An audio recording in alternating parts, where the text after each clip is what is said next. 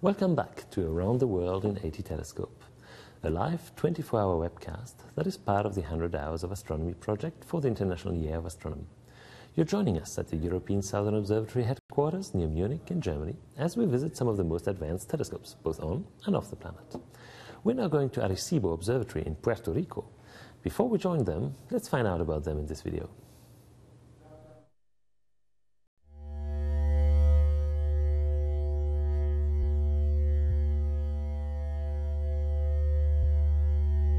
Welcome to the Arecibo Observatory, home of the world's largest and most powerful telescope for radar and radio astronomy.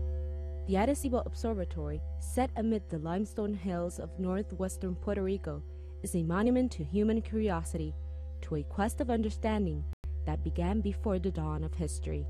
With this instrument, scientists can examine phenomena that occur as close as 3 kilometers above us in the Earth's atmosphere or probe the hearts of quasars 10 billion light years away at the very edge of the discernible universe. Since its completion in 1963, the Arecibo telescope has been used by thousands of scientists, some of whom have made Nobel Prize winning discoveries. The Arecibo radar telescope was conceived by William E. Gordon, who hit on the idea of using a spherical bowl shaped reflector fixed on the ground with a movable receiver hanging above it. This permitted the beam to point in a 20 degree range of direction around the zenith or overhead direction.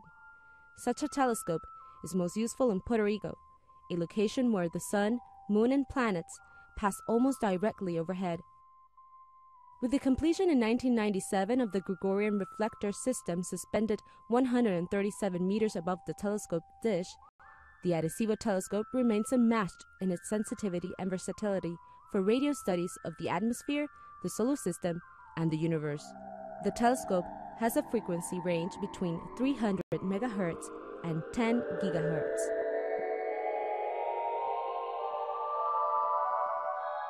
The Arecibo telescope is huge. The main reflector dish has a diameter of 305 meters and a depth of 51 meters, covering an area almost the equivalent of 26 football fields. The dome containing the Gregorian reflector system is six stories high and weighs 68 metric tons.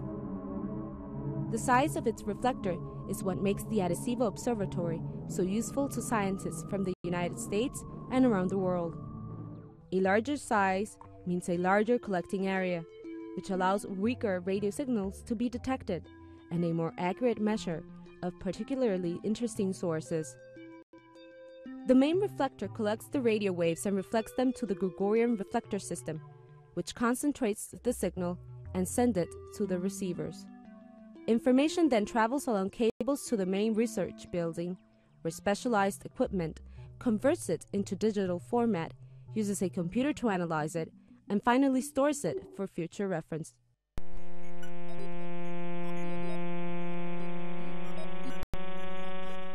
Most of the observing time at the Arecibo Observatory is assigned to receiving, detecting, amplifying, and recording electromagnetic radio signals produced by distant astronomical objects like pulsars, stars, interstellar clouds, galaxies, and quasars.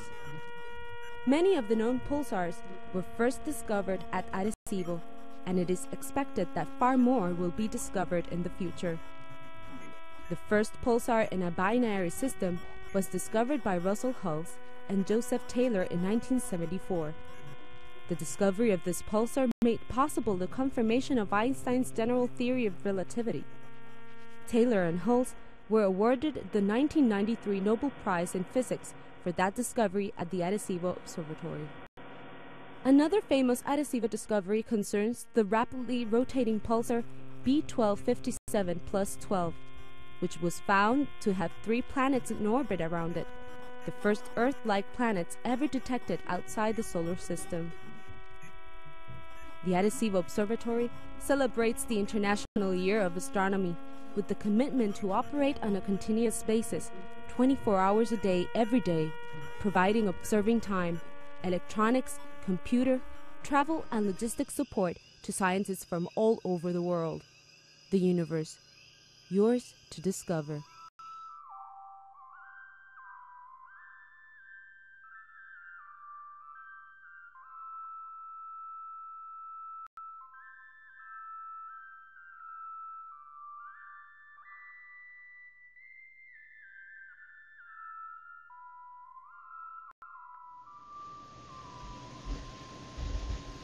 We're now going live to Arecibo. Hello, Arecibo. Hello. Can you hear me?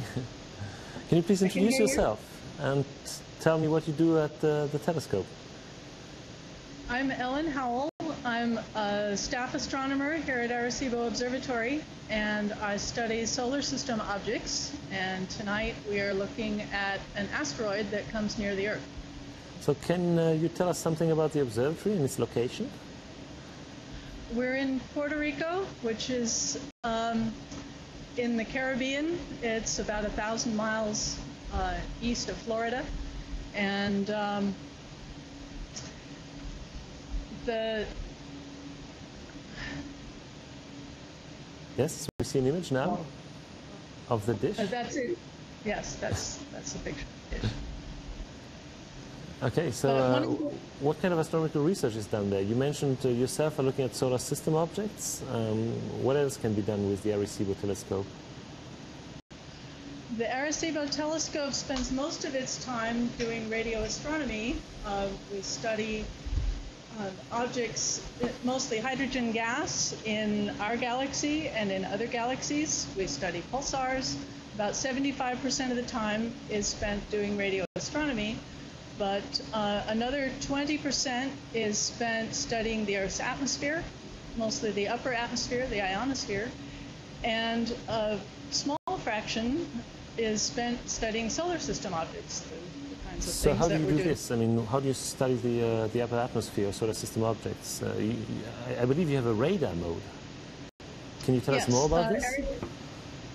Are- Arecibo is one of only two places in the world that have radar, a radar system. So instead of just looking at the light coming from the objects in the sky, we can actually send the light out and then look at the light that comes back. So it's like having our own flashlight. And because we send the light out, we know a lot of, we know exactly what we send, and so we can learn a lot more from the light that comes back. So is that what you're doing tonight? Yes, that is what we're doing tonight. Um, there's an asteroid called 2008 SV11 that was discovered last October, and it's coming close to the Earth um, tonight. And I, I don't know if tonight is the absolute closest, but it's about 0.05 astronomical units. That's the distance from the Earth to the Sun. So it only takes light about 55 seconds to get out to the object and come back to us. So, So it's very close. bombarding this asteroid with your own radiation that bounces back from the asteroid. How can you learn about the asteroid this way? Well, we send a single frequency of light, a single color of light to the asteroid, and then when it bounces back to us, the we receive not just that frequency, but frequencies slightly around it because the object is spinning in space. So the part that's coming towards us gets shifted to to the blue a little bit, and the part that's spinning away from us gets shifted to the red. So what we see isn't just a single spike; it's it's a um, it's spread about that, and so the amount that it's spread tells us how fast the asteroid is spinning. Uh, that's really neat. Uh, so you can also probably determine the distances in the orbits. So can your observations help actually finding asteroids that could hit the Earth?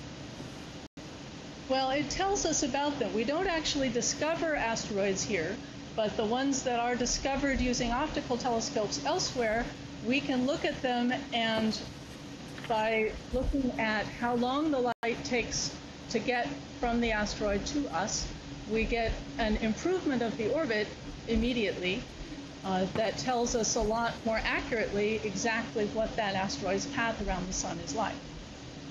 So that way you could actually predict whether in some time this asteroid would, uh, would hit us.